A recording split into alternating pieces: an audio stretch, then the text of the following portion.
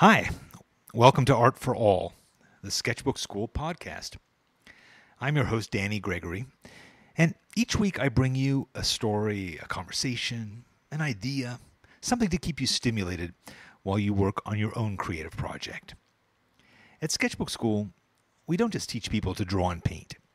We teach them how to be creative, to think in new and different ways, to have confidence in their creative abilities, to see like artists, to support other creative people in a sprawling community of artists, not just to draw, but to love to draw and create, to change their lives. It happens every day and to tens of thousands of folks all over the world. We teach art by asking working artists to teach it, and different artists every week.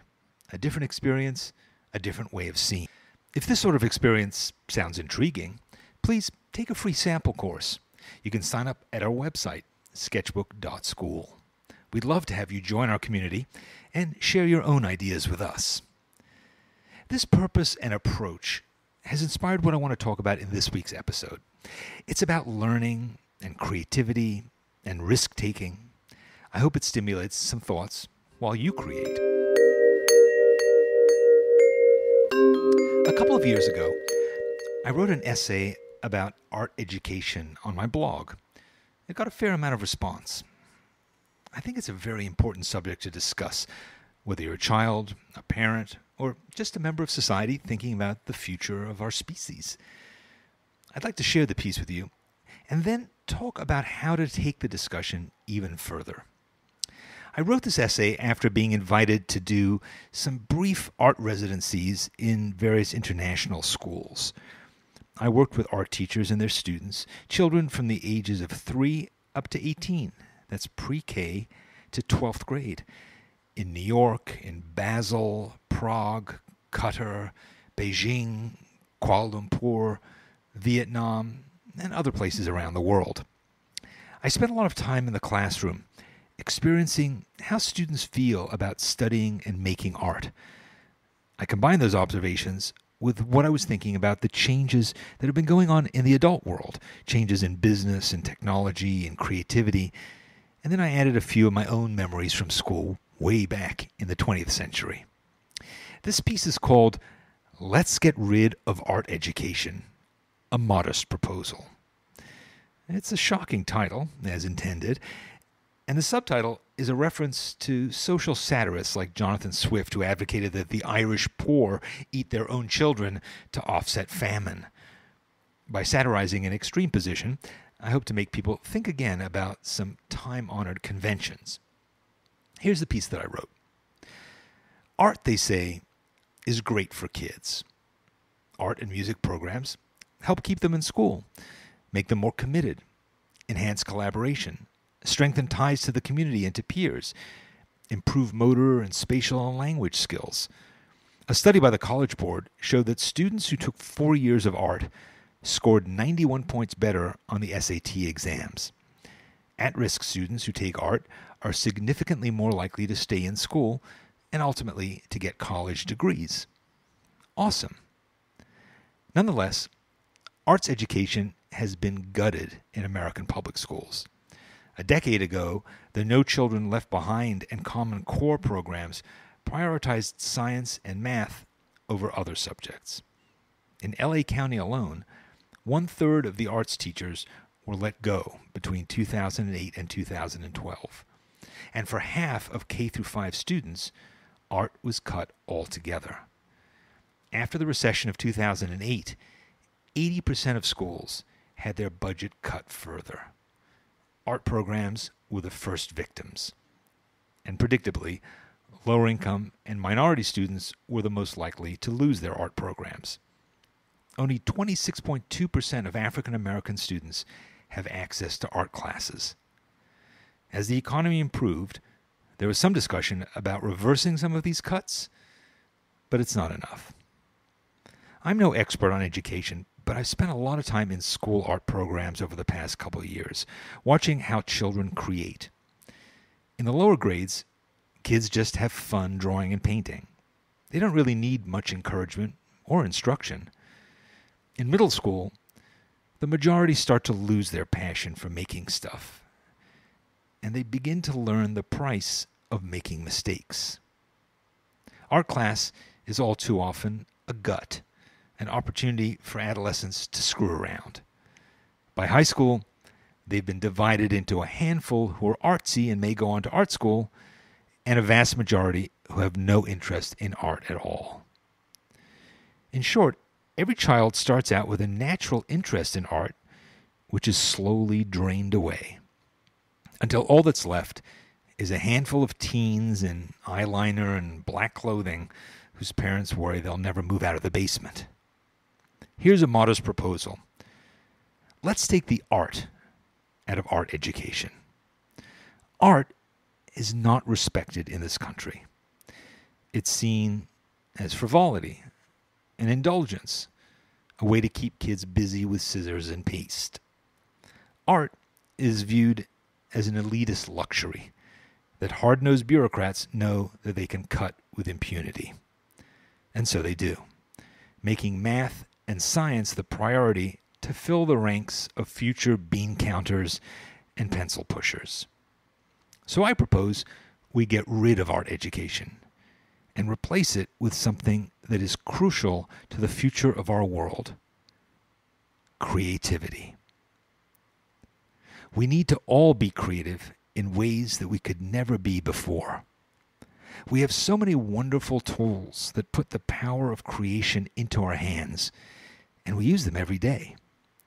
Solving problems, using tools, collaborating, expressing our ideas clearly, being entrepreneurial and resourceful.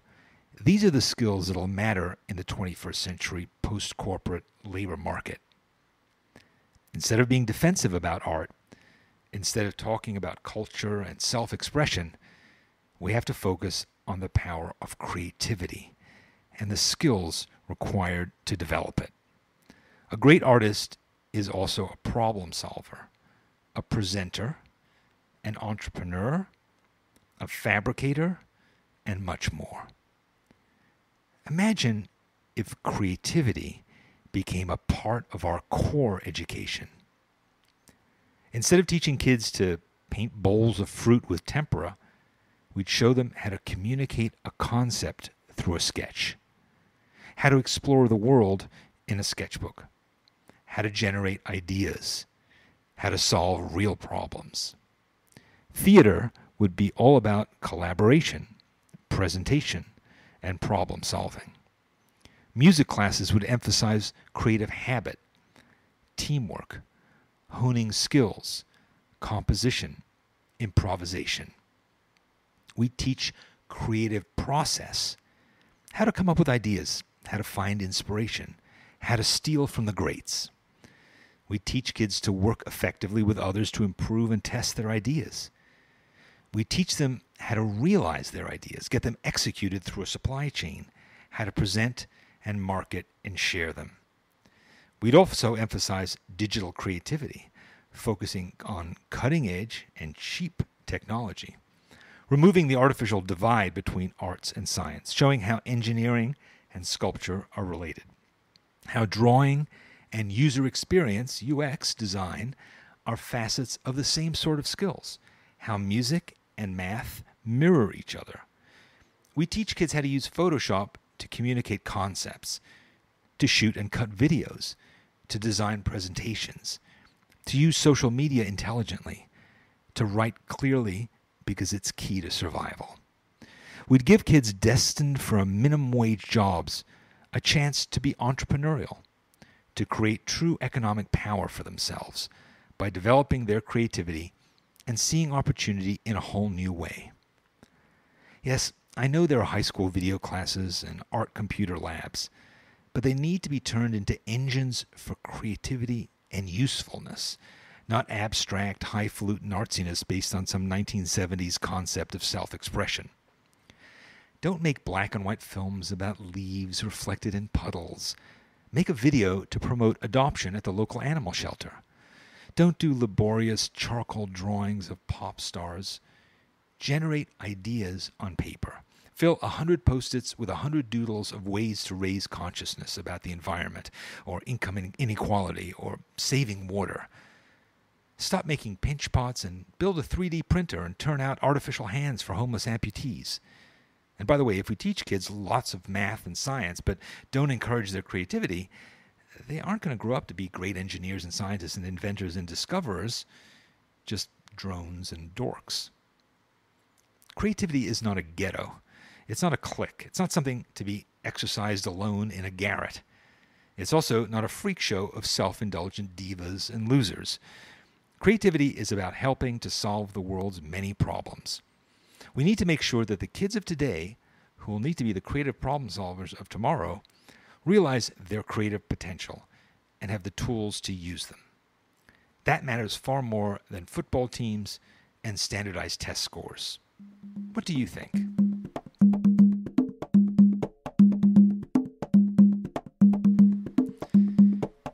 Tens of thousands of people read this essay, and hundreds posted comments on it. A magazine asked permission to reprint it in their next issue. Some readers congratulated me on the piece. Many told me I was an evil monster for having written it. Some of them were art teachers, just about my favorite people in the world. They do a hard and essential job, and they do it all too often without proper acknowledgement and support.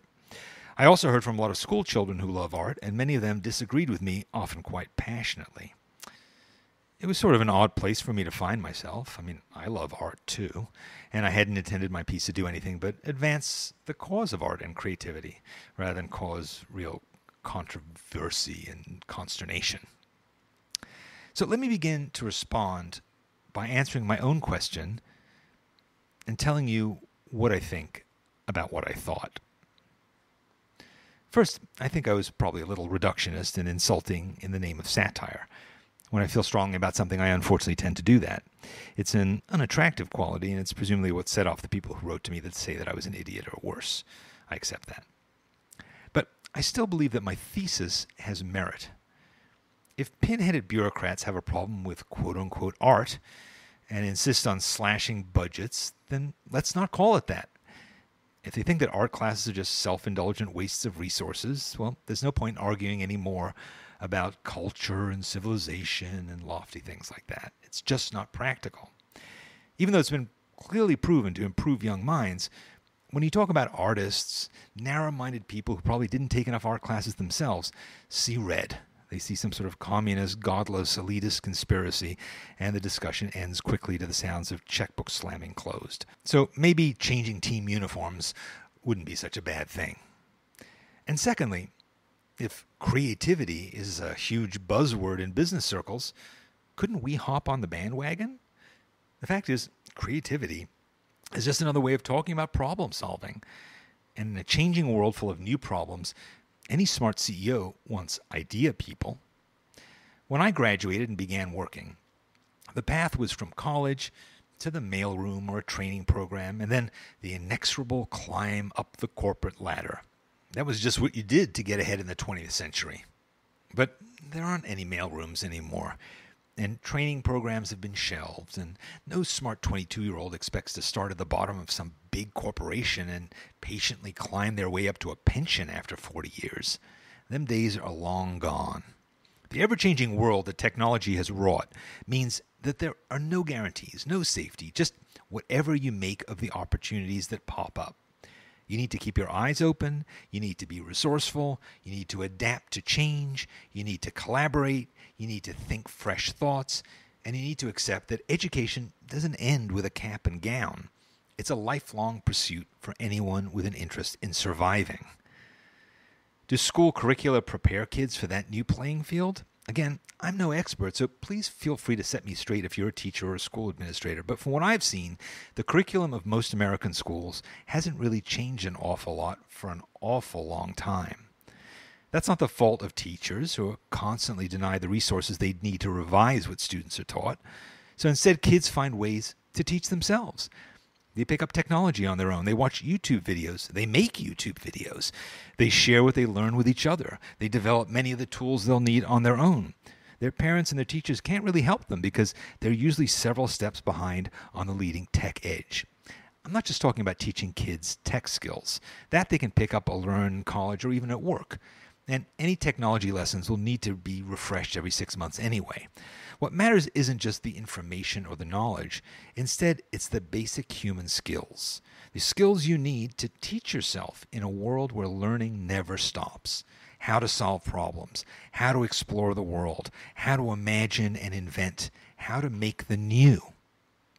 What I think would be interesting to explore is to teach the essentials of the creative process and make it a part of the core that all kids learn, whether they're going to go on to be artists or designers or engineers or doctors or farmers. So, next, I'd like to sketch out in a bit more detail what I think some of those lessons could be. First of all, I'd encourage kids to come up with ideas. Lots and lots of ideas. I'd say start each day by writing down a list of 10 new ideas. They can be on any subject. 10 ideas for songs by your favorite band, 10 ideas for why the Civil War happened, 10 ideas to reinvent sneaker design, 10 ideas for new video games. It doesn't matter if they're good or bad. Just write down 10 every day. And the next day, pick a different topic and write down 10 more ideas. Do it every school day. And by the end of the year, you'll have 2,500 new ideas. Most will suck. One or two will certainly be gangbusters. The next year, do it again. There's so much power in developing this habit of regular, self guided, sustained creativity. Thinking of so many ideas teaches another important lesson that it's perfectly okay to have bad ideas. It's okay to make mistakes. Every kid knows that lesson, but school rarely emphasizes it. How do you get good at playing a video game? You try stuff out, you die, you get respawned, and you try something else. That's a basic creative skill. But it's light years away from the idea of final exams and pop quizzes and standardized tests. What if we encourage kids to get stuff wrong to see what happens? What would happen? Next, let's actively encourage collaboration and teach kids the tools for doing it better. When people work together in teams, they come up with stuff that individuals never could. But there are skills involved in collaboration. You need to learn to work together. You need to build trust. You need to recognize and honor different skill sets, different aptitudes, different perspectives and tastes. What if we made those lessons explicit? What if we studied how successful teams work and emulate them? Try different styles, try different approaches. What if we made school less about competition on the sports field, in the college application process, in grading, and instead championed working together.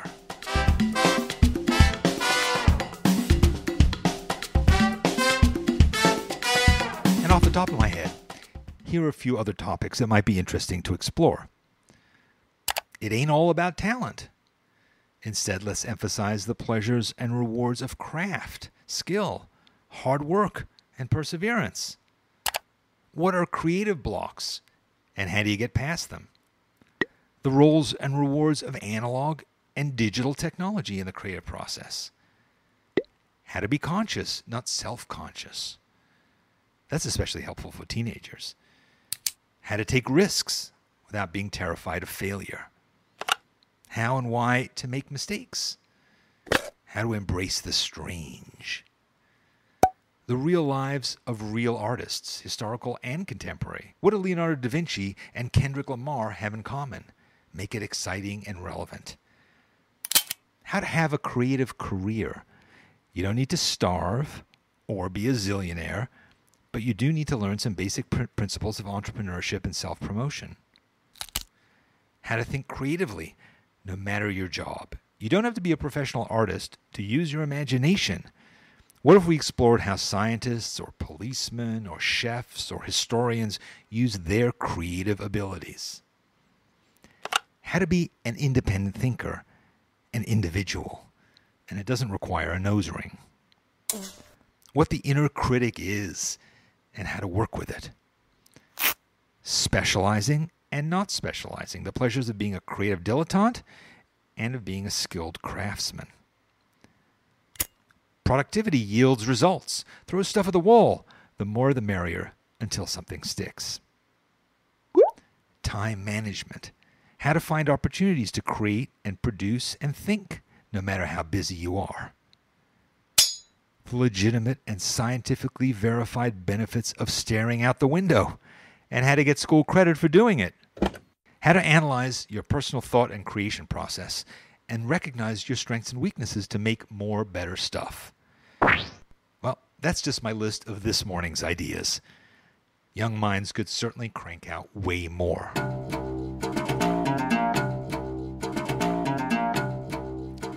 What if we taught students, specifically and explicitly, what the creative process is, how ideas come about, the working of the mind and the imagination, best practices, it's not a huge mystery, you know.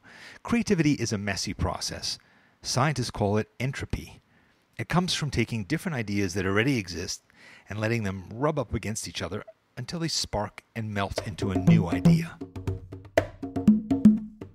You never know quite how it'll happen, but there are basically three key ingredients to facilitate coming up with ideas to developing a creative mindset. I'll teach them to you now. First, you need raw materials.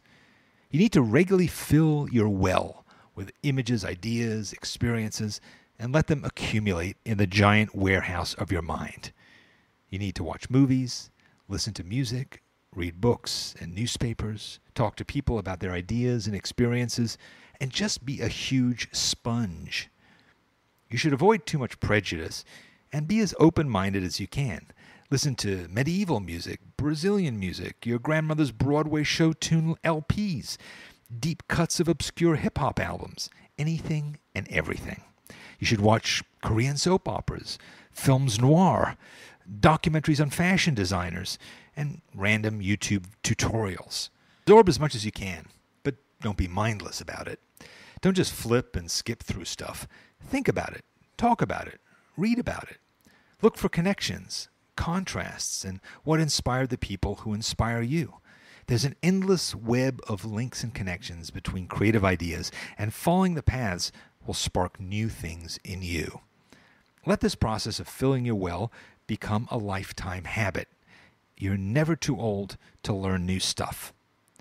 Now, I know that schools teach kids lots of stuff, but that's not quite the same as teaching them how to fill their personal well to understand the importance of diverse, seemingly disconnected learning and experience to embracing the obscure and different, the weird and wild, to encouraging and championing this search and making it a vital part of every kid's education. Every kid should feel comfortable eating sushi, listening to Brahms, or square dancing. Kids today are more open minded and tolerant than any generation, and that bodes incredibly well for the future of creativity. I'm just not sure how much that's apparent to the Board of Ed. Step two let all that stuff sit in the pot. Let it bubble and combine. Let the seeds germinate. Learn to let go. Let the ideas connect behind the scenes. It may take one night, it may take many months. Learn how to quiet your mind how to distract your inner critic from ripping the cake out of the oven before it's baked. This is a skill too, and it needs to be taught and learned, tried, and tested. Your teacher should encourage you to let your mind chill while you doodle and stare out the window, just like your football coach encourages you to get a good night's sleep before the big game. Then, let the ideas pour out of the stew pot good, bad, indifferent. Some will drop in your lap perfect and ready to go. Most will be malformed or covered with an ugly crust or glued to a dozen dud ideas. Which brings us to the final step. In the third phase, you polish your diamonds in the rough. But you need to learn the skills that really make them gleam. You need to learn to edit, to let go of stuff that's obscuring your real idea. You need to learn the process of critique, to sharing constructive criticism that makes others' ideas better and to accept critiques without feeling slighted. You need to learn how to deal with your ego in the process, and you need to meet people who can help you to make your ideas better. How do you present your ideas? How do you identify the best people to work with? How do you learn from them? Those three steps are the basics of the creative process. Load up with raw materials, let your ideas incubate, and then select edit and polish. Ready, fire, aim.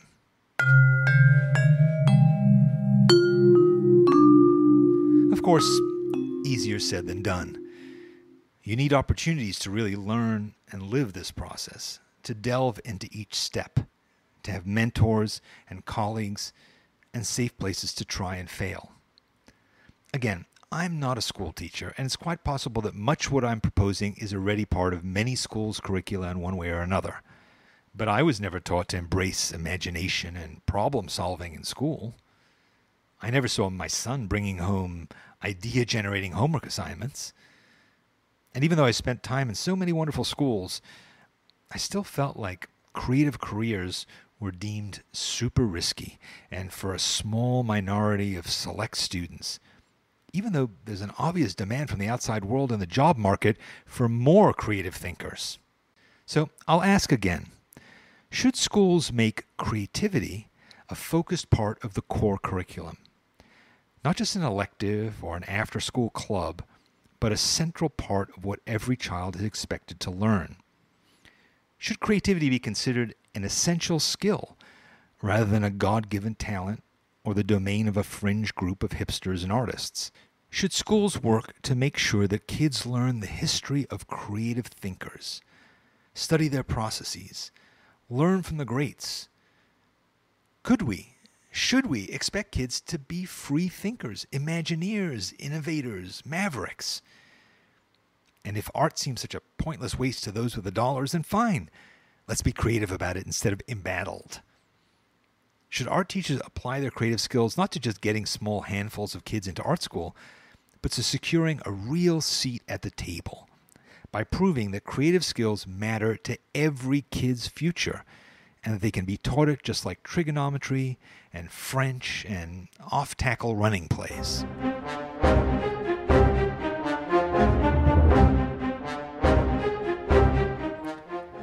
Me tell you again something I said at the start of this episode, and let's see if it has more meaning to you now. At Sketchbook Skool, we don't just teach people to draw and paint, we teach them how to be creative, to think in new and different ways, to have confidence in their creative abilities, to see like artists, to support other creative people in a sprawling community of artists, not just to draw, but to love to draw, to change their lives. It happens every day. It's happened to tens of thousands of folks all over the world. We teach art by asking artists to teach it, and different artists every week. A different experience, a different way of seeing. If this sort of experience sounds intriguing, please take a free sample course. You can sign up at our website, sketchbook.school. We'd love to have you join our community and share your own ideas with us.